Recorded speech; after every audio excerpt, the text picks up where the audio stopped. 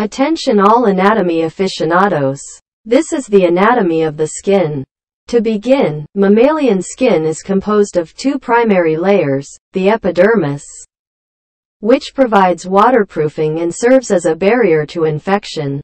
The dermis, which serves as a location for the appendages of skin. The epidermis is composed of the outermost layers of the skin. It forms a protective barrier over the body's surface, responsible for keeping water in the body and preventing pathogens from entering, and is a stratified squamous epithelium. Composed of proliferating basal and differentiated suprabasal keratinocytes. Keratinocytes are the major cells, constituting 95% of the epidermis, while Merkel cells, melanocytes and Langerhans cells are also present. The epidermis can be further subdivided into the following strata or layers, beginning with the outermost layer, stratum corneum. Stratum lucidum, only in palms and soles. Stratum granulosum. Stratum spinosum. Stratum basale, also called the stratum germinativum, Keratinocytes in the stratum basale proliferate through mitosis and the daughter cells move up the strata changing shape and composition as they undergo multiple stages of cell differentiation to eventually become anucleated.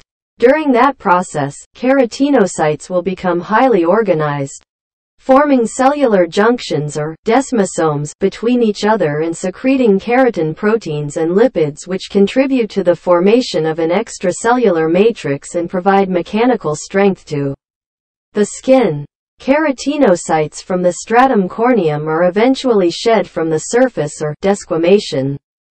Also, the epidermis contains no blood vessels and cells in the deepest layers are nourished by diffusion from blood capillaries extending to the upper layers of the dermis. The epidermis and dermis are separated by a thin sheet of fibers called the basement membrane, which is made through the action of both tissues. The basement membrane controls the traffic of the cells and molecules between the dermis and epidermis but also serves, through the binding of a variety of cytokines and growth factors as a reservoir for their controlled release during physiological remodeling or repair processes. The dermis is the layer of skin beneath the epidermis that consists of connective tissue and cushions the body from stress and strain. The dermis provides tensile strength and elasticity to the skin through an extracellular matrix composed of collagen fibrils, microfibrils, and elastic fibers embedded in hyaluronan and proteoglycans. Skin proteoglycans are varied and have very specific locations. For example, hyaluronan, versican and decorin are present throughout the dermis and epidermis extracellular matrix, whereas biglycan and perlecan are only found in the epidermis. It also harbors many mechanoreceptors or nerve endings that provide the sense of touch and heat through nociceptors and thermoreceptors. It also contains the hair follicles, sweat glands, sebaceous glands, apocrine glands, lymphatic vessels and blood vessels. The blood vessels in the dermis provide nourishment and waste removal from its own cells as well as for the epidermis. Dermis and subcutaneous tissues are thought to contain germinative cells involved in formation of horns, osteoderm, and other extraskeletal apparatus in mammals. The dermis is tightly connected to the epidermis through a basement membrane and is structurally divided into two areas.